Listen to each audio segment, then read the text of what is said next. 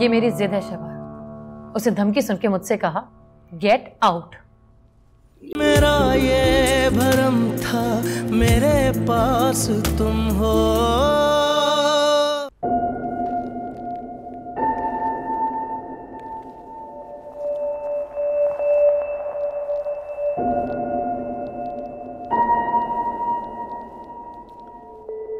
रहमती साहब मैं ये क्या देख रहा हूँ?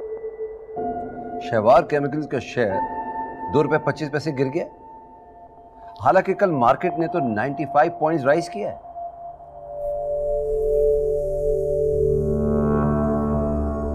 अगर बैंकिंग सेक्टर में तेज़ी है तो क्या मैं बैंक खोल? लू I want to know the reason बन रही है रिपोर्ट तीन हफ़्ते लेट हो गई तो क्या हुआ? कंपनी की गुडविल भी तो कोई चीज़ होती है। नहीं I want to know the actual reason ठीक है। आप बारह बजे आके मुझसे मिलिए।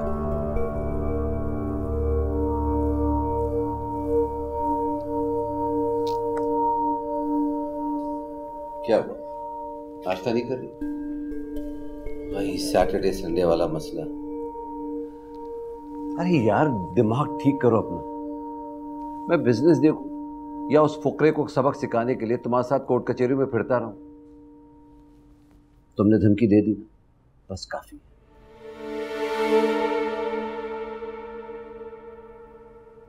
और फिर रात को भी तुमने समझाया है, वो सैटरडे, संडे यहाँ रहेगा तो चिमटा रहेगा तुम्हारे साथ। मैं क्या करूँगा? मेरे पास सैटरडे, संडे के अलावा होता क्या? और कंपनी का हाल देखा है? मैं ढाई महीने के लिए बाहर क्या गया? तो आज पता चला कि कंपनी का शेयर दो रुपये पच्चीस पैसे गिर गया। मतलब स्टॉक डीलर की नज़र में मैं गिर गया। चलो अपना मुँह ठीक करो। वो बड़ा हो जाए तो चाहे उसे यहीं बुला लेना। मैं उसे पूरा बेडरूम दे दूँगा।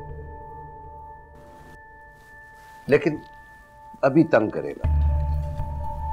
मामा मामा पुकारता रहेगा और मैं बैठकर उसका मुँह ताकता रहूँगा।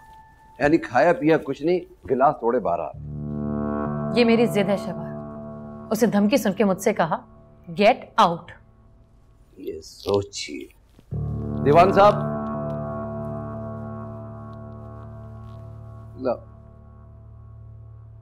वो बोटिंग में चला गया है तो अच्छा है ना। जाके मिल लिया करो उससे। गाड़ी में बिठाओ, घूमो फिरो, शॉपिंग करो। दैट्स इनफ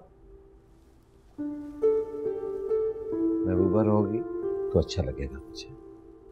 माँ बनोगी तो लगेगा एक ही रात में पचास की हो गई हो।